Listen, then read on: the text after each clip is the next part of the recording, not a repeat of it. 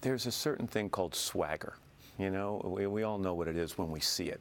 Someone walks with a swagger. They present themselves with a swagger. There's a, you know, an image they project. The last several months here, Mark, have they taken some of your swagger away, and is that important? it's, um, you know, I try to not have a swagger, so I'm not, I'm not sure. I don't sure mean it. I don't mean it in a literal sense. I um, mean it more in a in a figurative no, you know, sense. I mean, there's a lot of there's a lot of crazy stuff that, that that's going on, right? So there are periods where people say that you know we're we're doing better than I think we're doing. There are periods where where people say that we're doing worse than I think that we're doing. But one thing that's definitely a thumbs down is Facebook's stock price. It's fallen about 40% since its high profile initial public offering back in May. So at the same time the company is celebrating its 1 billionth user, it's facing angry stockholders and disappointed employees. On paper, at least, Zuckerberg himself has lost billions.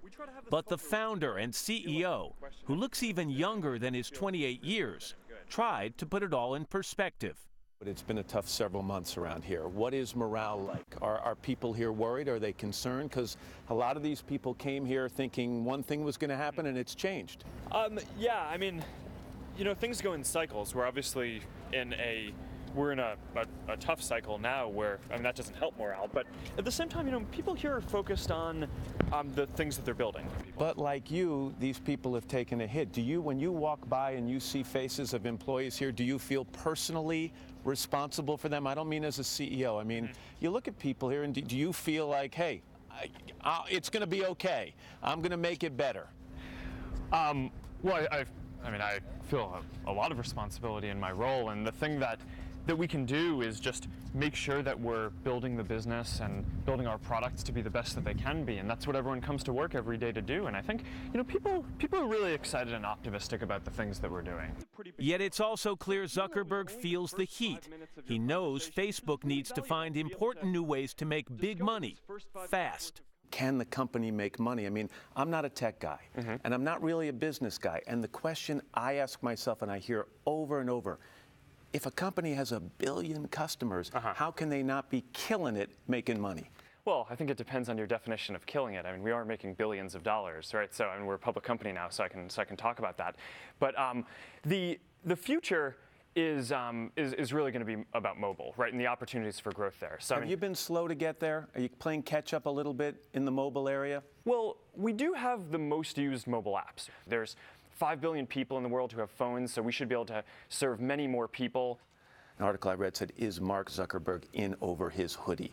Do you think a CEO who has more experience than you might be able to take this company to the next level and leave you to develop the products? Would that be a possible strategy? I, you know, I take this responsibility that, that I have really seriously. And I, I really think that Facebook needs to be focused on building the best experiences for, for people around the world, right? And we have this philosophy that building the products and services and building the business go hand in hand. When it comes to doing that, few companies do it better than Apple. Zuckerberg is friendly with Apple's CEO Tim Cook and was inspired by Apple's late founder, Steve Jobs. What was the thing that you observed about Steve Jobs that makes a difference in your life as a corporate executive every day? I mean, he was just so focused, right? I mean, for him, the the user experience was was the main thing that mattered, the only thing that mattered, and um, I mean, I think that there's a lot that every company can learn from that. Last weekend, Apple sold about five million of their new iPhone 5s. Did you buy one? Um, you know, Tim actually sent one to me. It's a wonderful device. You got a freebie? you didn't even have to pay anything, huh? so are you now an iPhone 5 user? Is that the phone you've got in your pocket or back on your desk? Uh, well, I think I handed my phone to someone else before this interview. But I mean, I, I, use I use all of them, right? So I mean, I'm, I'm are a you big... just not playing favorites here, or do you? No, well, well, I mean, if you think about it, I mean, iPhone is, is a great platform. We actually there are more people who use Facebook on Android. It's actually it's a pretty diverse ecosystem, and we, we spend our time building for for all these different things. The place where Facebook does its building is the sprawling former Sun Microsystems complex near San Francisco Bay. From high above, you can see the word hack imprinted on the walkway. And from ground level, in the Hacker Company building, you can see Zuckerberg's glass office. The design of the facility is purposely unfinished and employee centric. There are mini kitchens with 24 7 snacks and restrooms filled with toiletries.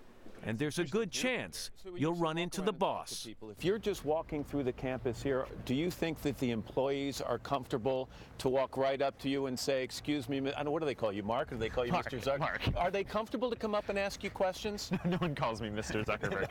um, yeah, I, uh, a lot of them are. I mean, it's we have we do a lot to create this open culture. The billionaire CEO is now also a husband. The day after the IPO, he married his girlfriend of almost nine years, pediatrician Priscilla Chan. I sent out this email to all of our friends telling them that I was having a surprise party for her for graduating from medical school.